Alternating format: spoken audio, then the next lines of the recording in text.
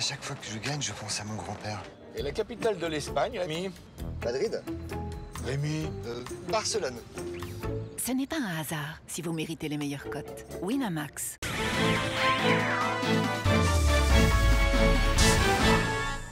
Mercredi 23 mars, soyez les bienvenus dans le Flash de Girondin euh, TV. On commence avec euh, une page média. Jean-Louis Trio était euh, invité de RTL lundi soir dans l'émission de Bichente Lizarazu. Il est revenu hein, sur le match nul de son équipe face à Bastia.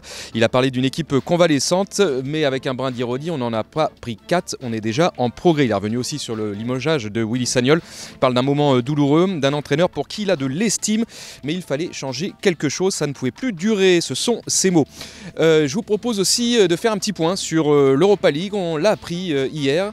Euh, les Girondins de Bordeaux, grâce à leur parcours, ont ramené 7 points UEFA à la France. Alors, pour information et par comparaison, pour l'instant, le Paris Saint-Germain, lui, en a rapporté 20 et son parcours n'est pas encore euh, terminé. On parle de Jaroslav Plazil qui est plébiscité en République tchèque. Chaque année, la sélection organise une soirée durant laquelle elle décerne les trophées des meilleurs joueurs. Et cette année, Jaroslav Plazil est arrivé quatrième. Voilà, bravo à lui. Un petit mot aussi sur euh, Wabi Kazri, même s'il nous a quittés. Il reste le cinquième meilleur passeur décisif de la Ligue 1 avec cette passe décisive pour l'ancien Girondin qui est parti, vous le savez, à Sunderland à ne pas manquer sur notre antenne ce soir 19h15, Club House exceptionnel avec Ulrich Ramé et Mathieu Chalmé. Nous on se retrouve demain. Bye bye.